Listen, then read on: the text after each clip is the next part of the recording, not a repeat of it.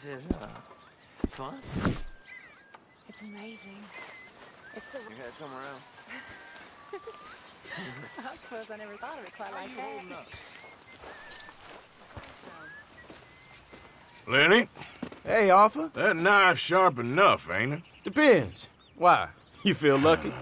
Do you? Oh, before me, at least six generations were born in chains. And for the last three years, I've been running from every lawman and bounty hunter west of the Lannahechee River. So yeah, I feel lucky. I'm the living embodiment of luck. That is one way of seeing things. But I'm also skilled. And in this game, you got to have luck and skill. And stupidity. The Outlaws Trinity. Luck, skill, and just a dose of stupidity. Come on. You ain't too old and too slow just yet. After you. As you wish. You know, we should head back up that mountain sometime and make Jenny a proper grave. Something nice.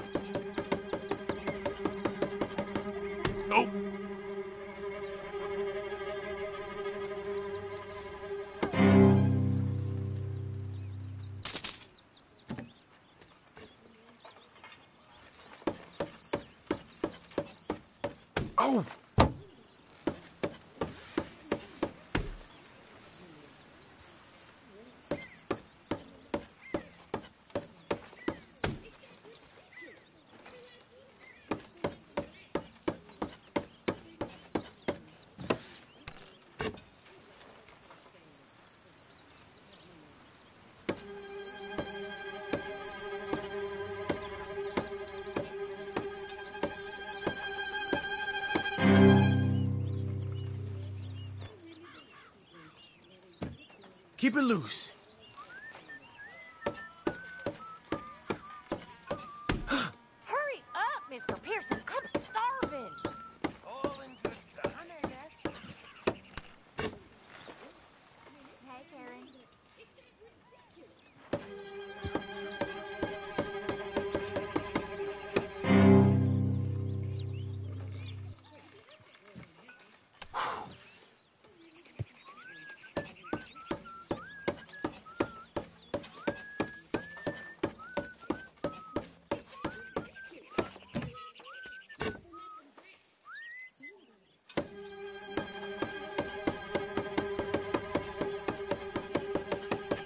Don't you choke now. I'll leave before you lose a hand. All right.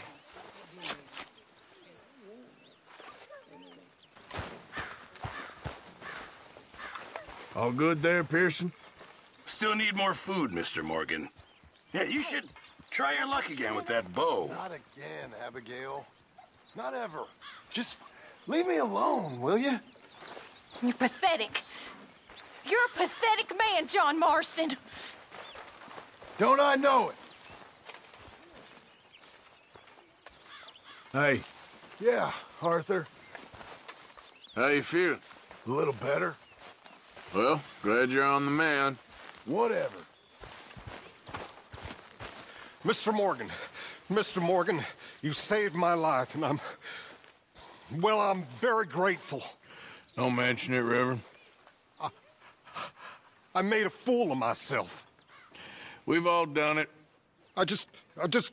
I get so confused and, and angry, and then I hear God laughing at me, and I get even angrier, and, well, I'm a real prize dolt.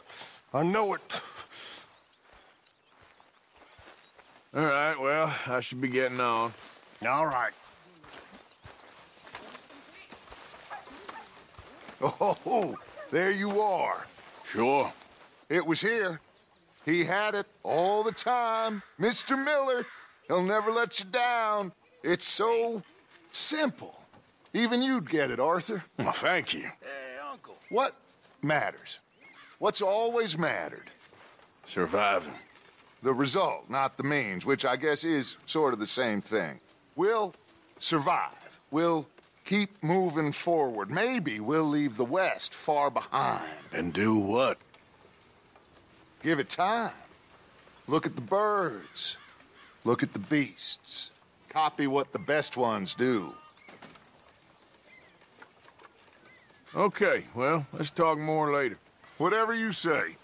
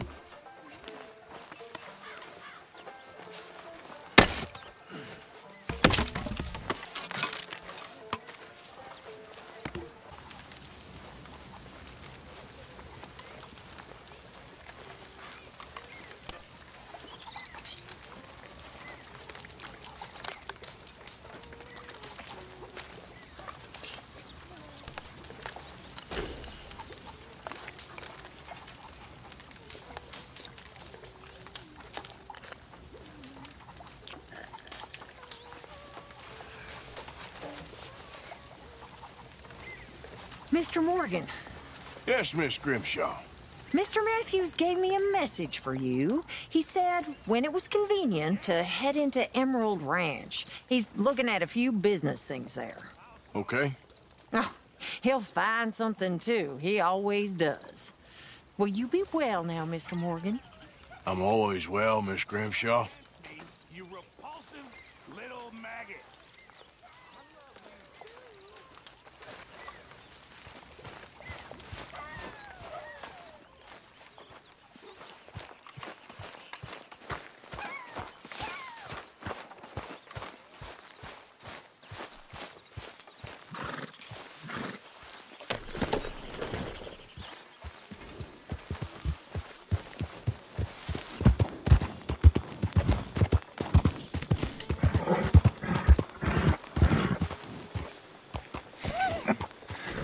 An interesting way of putting it, Seamus. Uh, no doubt. I do interesting very well. It's trusting I don't do so well. Please.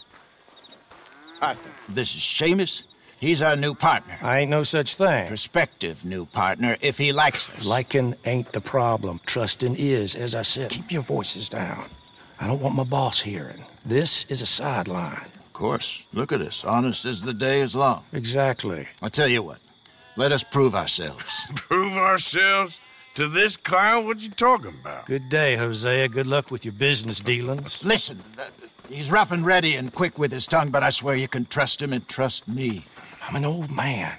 You're not old, Seamus. I'm old enough. And you know I ain't dead? You don't trust idiots. Exactly. We're not idiots. Let us prove it to you.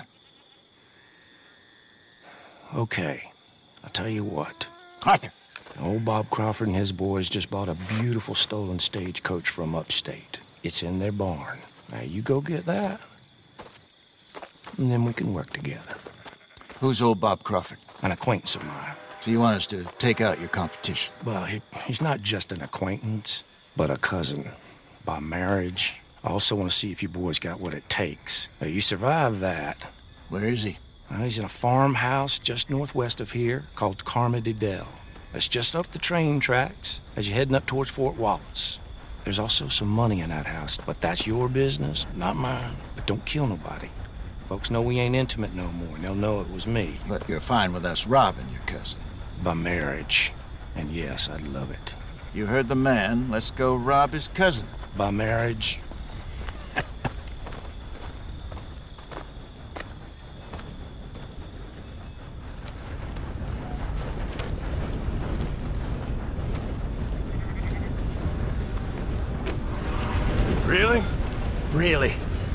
The way. He said the place is just northwest of here. Me? Watch out! You're the one who's been out gallivanting around here. That's what you call it. Well, clearly you've recovered from your bear encounter.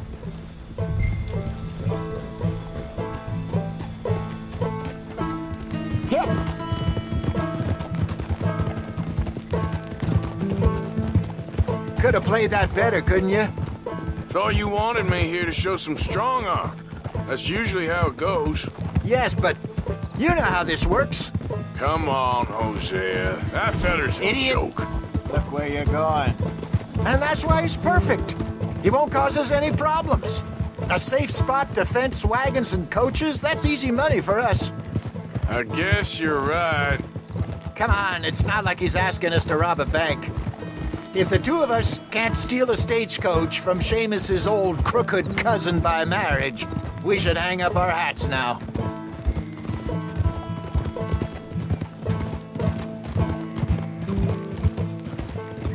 So what's the story with that Emerald Ranch? You find out anything else? A little. Owner's a nasty type by all accounts. Seamus is sure scared of him. That's not saying much. Something strange about the place. Used to be a saloon there, general store. Now it's all closed up, but they seem to have money. Sounds worth a look around. For sure. Seamus also mentioned the rancher's daughter a couple of times. How he used to see her around all the time, but now she never leaves the house. Probably just sweet on her. That what you call finding out a little? Once he opens up, seems Seamus does like to talk. Hopefully not too much.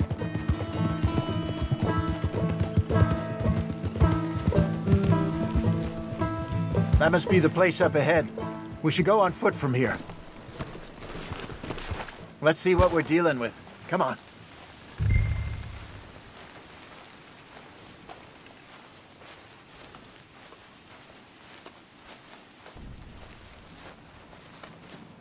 There's the house. I see the barn in the back. Stagecoach has to be in there.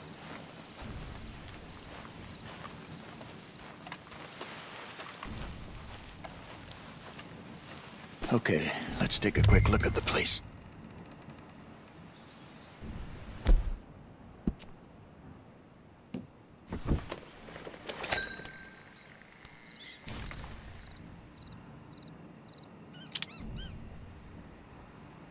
You see anyone? Nope. Okay. I reckon we could do it now. Sneak in, I'll get the coach. You can try the house. Or wait until morning when I'll head over, distract them by putting on a little show, while you sneak into the house, find what you can, and then get the stagecoach. What do you think? Let's do it now. All right. I reckon we're ready. Let's go. Maybe take a peek through the windows before you go in. Make sure it's all quiet.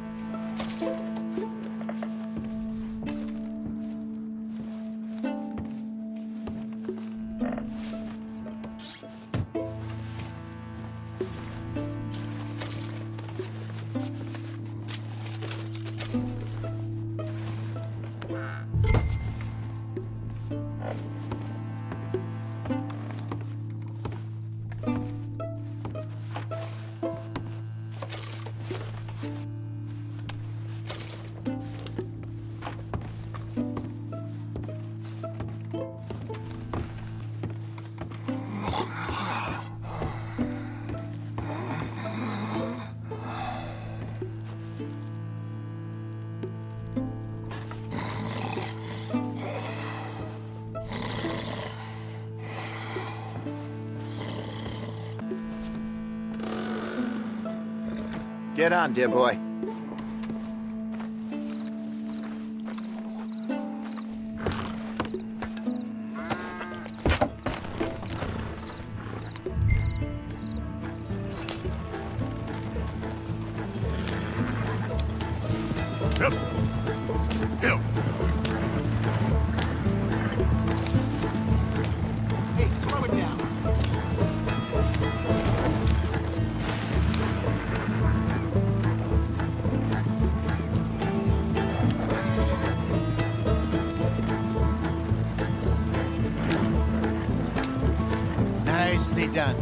Everything we needed. And I'm pretty sure they never even knew I was there. Best way. Less problems the better right now. Just need to get this back to Seamus in one piece and it's a good night's work. So what were you able to lift from the house? A few bits and pieces. Nothing too fancy. Well, we need anything we can get right now. This was easier than hunting a thousand pound grizzly anyway. No doubt. I won't forget that in a hurry. I'm looking forward to your retelling of that one around the campfire. It wasn't the first time Mr. Matthews had stared death in the eye. And as usual, he did not flinch. Yeah, exactly. How long you think we're gonna stick around here for? Not sure. Till we can't, I suppose. Feels like we're starting to get back on our feet, slowly but surely. Just need to keep at it. Okay, here we are. Just pull the coach into the barn there. Yeah.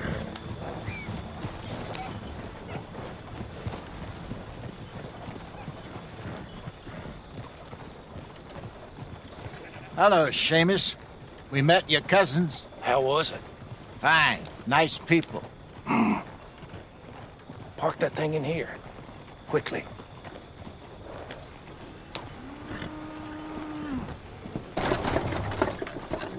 Uh, nice work, Hosea. It was mostly Arthur. Like I said, coarse but competent. Here. Thank you. Find any other coaches that need selling. I'll see what I can offer you for them. But discreet, you know. Of course. Goodbye, gentlemen. I'm heading back to camp, I think. You coming? Sure.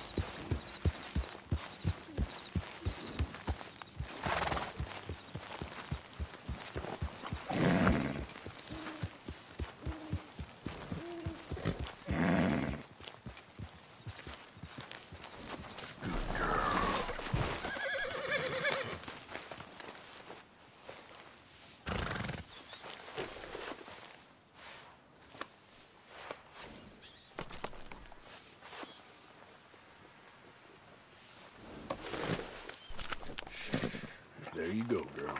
Mm. Hey, you're okay, girl.